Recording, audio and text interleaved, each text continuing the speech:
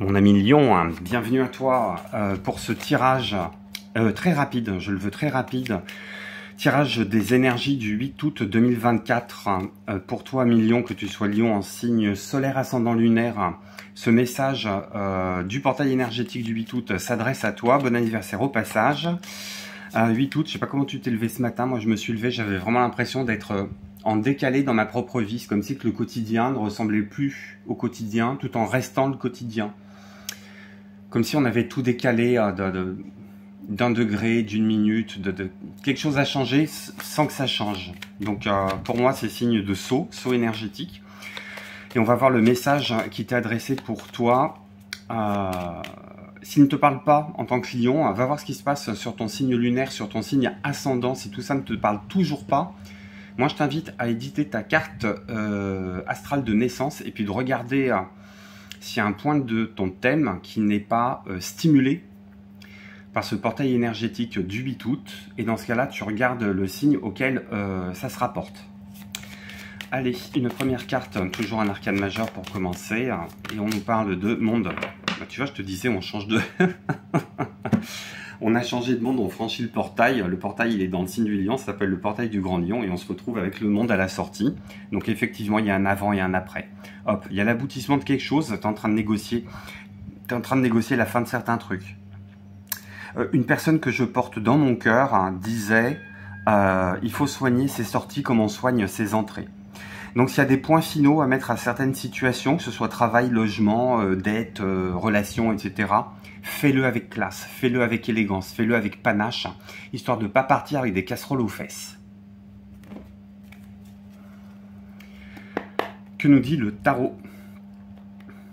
Tarot auquel je ne pose absolument aucune question, je vais tirer quelques cartes et on va prendre le message tel qu'il sort euh, sans chercher à, creuser davantage. J'ai dit je veux, vraiment une, une série de messages très très rapides vraiment pour se, concentrer sur l'essentiel. Euh, j'ai l'impression que tu vas être au bon endroit au bon moment là sur, euh, sur cette période. Si c'est ton intuition qui agit, si tu penses effectivement à boucler les, vieux dossiers euh, et à jeter les, cartons moisis, ça peut être une, un accélérateur d'opportunités. De, et ouais. Il y a des projets, des nouveaux projets qui se mettent en route. Des nouveaux projets qui se mettent en route. Mais alors tu mets, tu mets un peu la charrue avant les bœufs. Évite de mettre la charrue avant les bœufs. Euh... C'est pas parce que ton intelligence, elle tape dans le mille qu'il faut que tes actions tapent dans le mille aussi. Euh, tu peux taper dans le mille au niveau de la réflexion, au niveau de l'élaboration. Tu peux avoir euh, limite le cerveau overclocké. Mais on te dit que quand tu, dois, quand tu passes à l'action, prends le temps de faire les choses. Back le pas,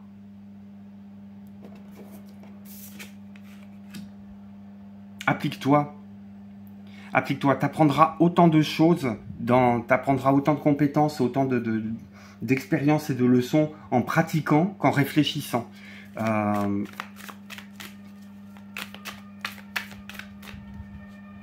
ah, de, tout, hein. ça peut être une nouvelle langue, ça peut être le Kama Sutra, ça peut être une montée en compétences en informatique.